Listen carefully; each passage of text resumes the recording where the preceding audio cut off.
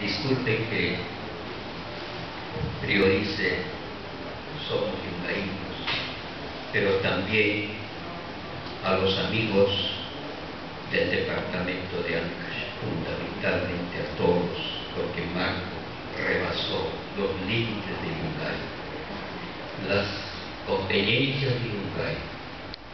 Marco fue un elemento que captó la simpatía de todos sus amigos. Y diríamos que no solamente departamentales. Monseñor, muchas gracias.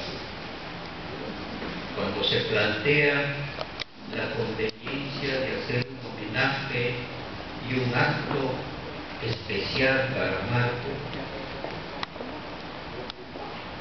realmente tenía que ser, siendo él un personaje dentro de nosotros, tenía que ser el acto litúrgico también realizado por otro personaje yungaíno, en este